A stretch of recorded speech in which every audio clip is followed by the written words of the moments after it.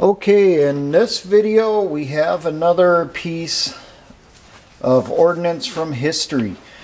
This is a Finnish designed Molotov cocktail from the Winter War and it was also used in the Continuation War. This was used by Finland against the Soviet Union for dealing with tanks. Now, someone had sent me a link to a English translation of some pages from either an organization or museum in Finland with this stuff. Uh, I will post the link that the person sent me inside the description. I suggest you go look it over. There's a lot of good information in it. I took the information from that page, turned it into a PDF, enlarged the pictures to make them better and easier to see for details, and then I posted that file over at My Militia. Now, there's a few things from that page I want to do videos on. This is the easiest to do right off the bat. That being relative, I was given this information a couple weeks ago, but I've just been too busy. But uh, this is the easiest I could throw together. Now, Finland is not the first one to use Molotov cocktails when you actually read through the information on uh, the web page I was sent, apparently the Finnish military looked at examples that were used in the Spanish Civil War from uh, 36 to 38, 39, somewhere around there. Now, the, the initial Molotovs that were used in Spain were bottles with a flammable liquid inside and then they would tie a rag to the outside, light the, light the rag on fire, and toss that at tanks. And that was an improved version of something that you could consider a Molotov, but really wasn't, where they use they would fill bottles full of gasoline, toss those at tanks, and then they would try tossing a torch on top of the tank to set it ablaze but the really first Molotovs, if you want to think of it that way, were the ones that were the bottles of gas with a rag tied to the outside. Now, Finland looked at that. They uh, got the information they could on how it worked and thought about how can we improve this. This was right before the Winter War started. They suspected the Soviets were going to do something, but they weren't sure they realized that they would get hit with a lot of tanks and they didn't have a lot of weapons that could handle tanks and they couldn't produce them fast enough or buy them off the international arms market fast enough.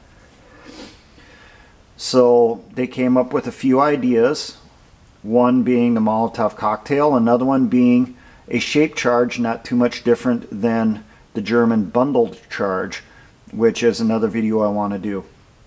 But uh, with the Finnish version of the Molotov cocktail, they had a bottle with the flammable liquid inside. They then taped two storm candles to one on each side opposite each other, taped them on there. The bottles were capped.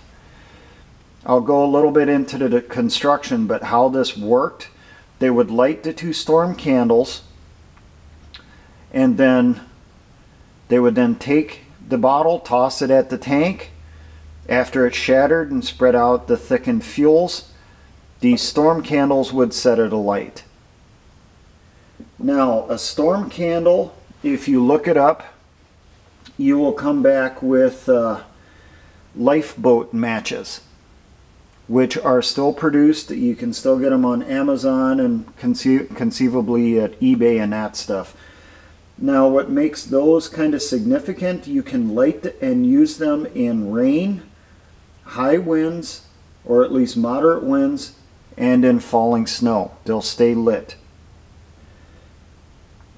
They had a, a uh, couple factories up in Finland that produced these uh, storm candles or or uh, lifeboat matches. So they had a ready uh, available ignition source right there. The bottles they used at first reclaimed alcohol bottles, beer bottles primarily, But then once the the uh, Winter War started, bottlers that were bottling alcohol then produced Molotov cocktails on the same production lines. So they just changed out what they were putting in the bottles using the same equipment. Now instead of uh, shoving a rag down inside, they realized that the rag could potentially go out or fall out.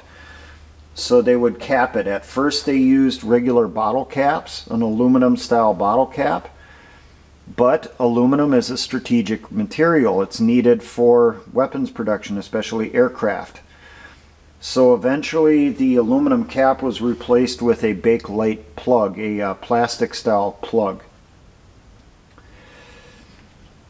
Now, these storm matches on the side, or lifeboat matches, storm, yeah it says storm matches, you had a piece of tape and it says insulating tape they would put down on the side of the bottle. Attach the matches they would tape it on with more insulating tape. Two pieces one going up here one going down here and then to reinforcement reinforce it because they had problems where the tape in the severe cold because it is Finland the tape would start coming loose and the matches could fall off so what they started to do, they used some light wire, like a baling wire or potentially even just a uh, trip wire. It's not, it's kind of in between the two uh, gauges of wire there. They would put, wrap some wire around here, one and some wire around here right over the tape to help hold these storm matches on. Now the filler, this is something I found really interesting. The filler, there was four different uh, mixtures mentioned on the website. The most common was gasoline and pine tar. And then it also mentioned gasoline, kerosene, and pine tar. The third mix was waste alcohol, kerosene, and pine tar. And then the last one, which was probably less common, was sulfate turpentine. Turpentine is a distillate from pine tar, if I remember correctly.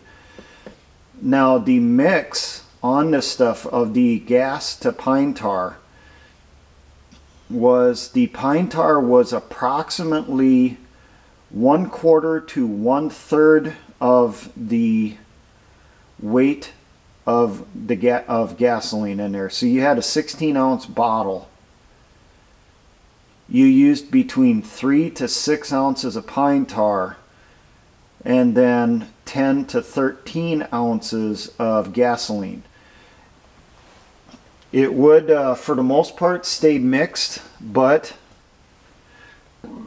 if it starts to separate, shake it a few times, then light your uh, storm candles using a lighter your storm matches and then toss it at the tank. Now the storm, they realized through testing and also trial and error, using the storm matches like this and having them insulated from the mixture inside, having that uh, layer of tape was to keep the heat from these storm matches burning from transferring into the bottle and potentially setting it alight and blowing it up inside the person's hands. So the tape was supposed to distribute some of the heat and help prevent thermal cracking during winter.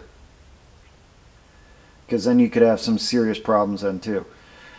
But doing it this way without the flame burning on a wick going down inside, having it isolated from the fuel source, you could use this, light it, and use it within 60 seconds before the uh, storm matches or storm candles would burn out.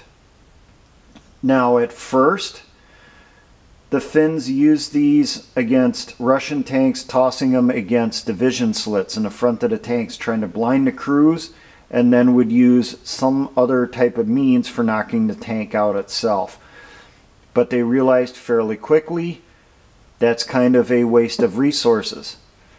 So then they started tossing the Molotovs onto the rear decks of the Russian tanks, which were predominantly T-26s.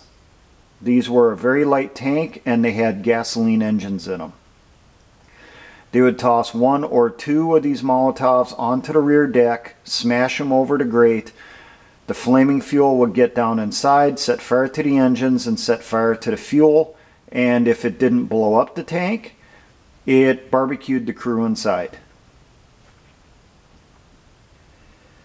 Now the Russians after the uh, Winter War or really during it, they seen what was going on, realized the dangers of having a gasoline engine in a tank, and that's when they transferred over to diesel engines, which is what they used on T-34s and their generations of tanks after that. The, the Finns found out during the continuation war that the Molotovs were not as effective against T-34s as they were against the T-26s and the T-28s and the BT5s, BT7s, and that stuff that they faced during the Winter War. But guess what? They'll still work against the tank and that stuff. It's just going to take more of them or larger amounts of the fuel. Because in the engine compartments of tanks, you still got rubber hoses, you still have electrical wiring, you're going to have grease, you're going to have oil that's leaking out of stuff. You're going to have rubber gaskets also that are going to be impregnated with oil and that stuff on the engines. The stuff will burn, it just takes time. Now if you remember from the Molotov video I did a couple years ago, which YouTube took down, gasoline burns quick. It basically is like a match. It lights, burns itself out quickly, and then it's gone you needed something to thicken the fuel, get it to burn longer and adhere better. Well, Finland, being a Nordic country, has a lot of pine trees. Their, their solution to it was pine tar. And apparently it worked really good. Now I did do a mock-up on this. It's not very good.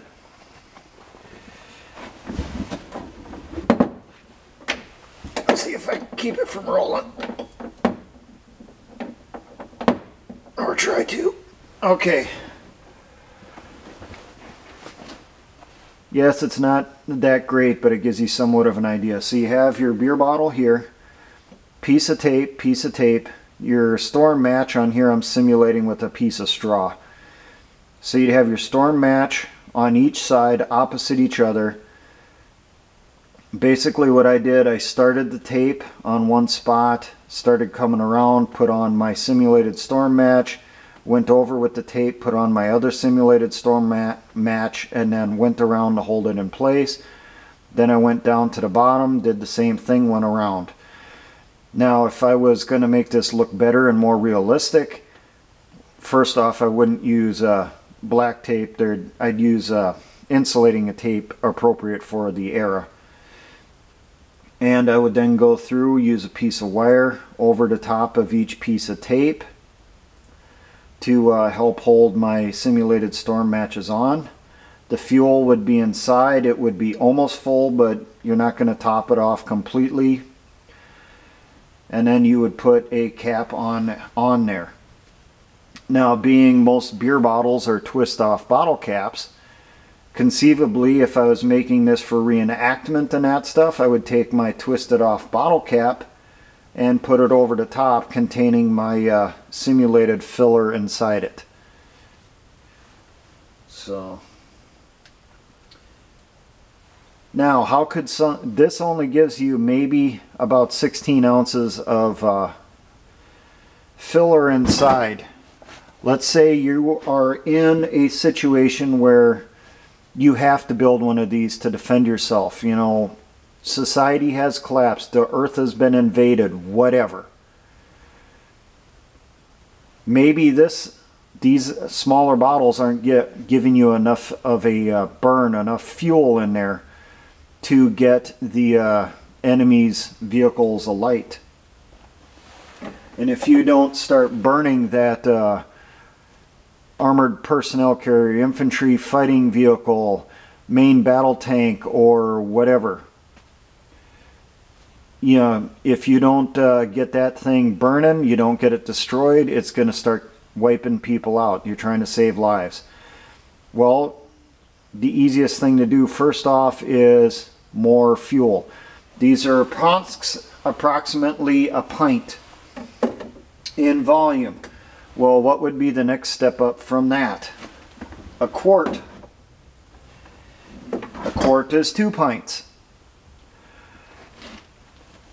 Now, James Wesley Rawles mentioned in the book Patriots, his first book in the uh, economics economic collapse series, the one that he's probably the most well known for. His protagonists in there used quart size mason jars to make Molotovs. And that's what occurred to me on the upgrade here. So we could take the same initiation system on here, transfer it to this. And then for closing it off, to cap it off and stuff, you would just use a used canning lid, not one that's still usable, one that's already been used, because you can't reuse the metal ones. Once they're used once, they're done. So you would use that lid to close it up, and then you would use your oldest, rustiest, nastiest looking uh, ring bands on there to hold that lid on. And then there you go. You would have your manufactured Molotov that you could use against the, uh, you know, alien uh, main battle tank coming down the road, firing off its uh, laser weapons to annihilate and uh, burn up uh, human resistance. But uh, now, just like with any piece of ordnance, I show you from history and tell you and explain to you how it was made so that you can explain it during reenactments or living history events. Do not make one of these in real life unless it is out of, you know, non-explosive, non-flammable materials. Then you're just doing it for show. You're not going to actually light it and use it at a demonstration. You just have it out on a desk or a table. Do not make one of these for real and use it for nefarious purposes. If you do, you will get caught. You will go to jail for a very long time. Now, with incendiaries like this, they're not illegal. What is illegal is the intent, the purpose that you're making it for and use it for. So there you go. Uh, one quick note for the reenactors who are going to do this for their displays and stuff.